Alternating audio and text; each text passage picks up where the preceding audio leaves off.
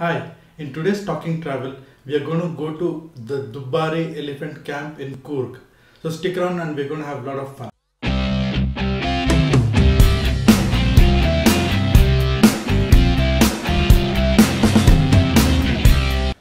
Apart from the entry ticket, you can also buy tickets for feeding the elephants and for giving them a bath, which gives you a really close access to it. You can get into the water with them and uh, help them take a bath. I would recommend you do that though, because this is as close as you can get to an elephant. He's decided to relieve himself while getting a bath. Of course, if you're squeamish about being around poo-poos and uh, peas, then uh, you, you might want to give this a skip because the elephant will relieve itself uh, when it's in the water. The other thing you can do in Dubbare is to buy a ticket and feed the elephant. For just around 20 rupees, you can feed the elephant a ball of hay. After you're done with it on the way back, I suggest you cross the river yourself on foot instead of uh, the boat.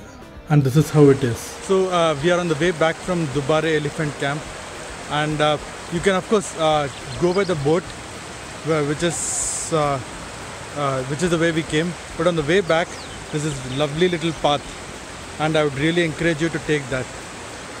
So me and my daughter, we are going to take this path. Let me show you around uh, the, the part two.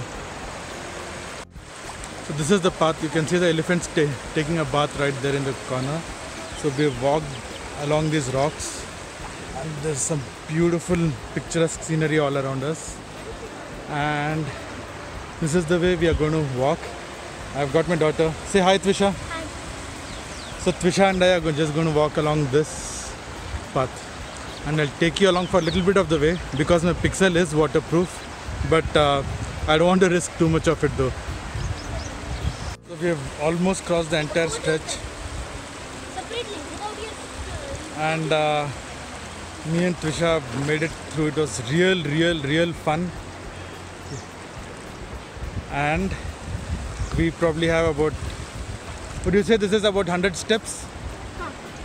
There is a little bit of a stretch here with uh, slightly faster water, which was the most fun part. Uh, even there, I, I, I don't think the, uh, the water went above my calves.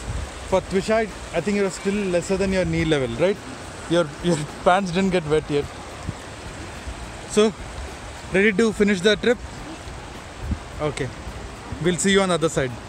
So if you are in Coorg don't give Dubbare a miss. It's one of the best experiences you'll have with elephants. I got to go really up close to the elephants. I could give them a bath.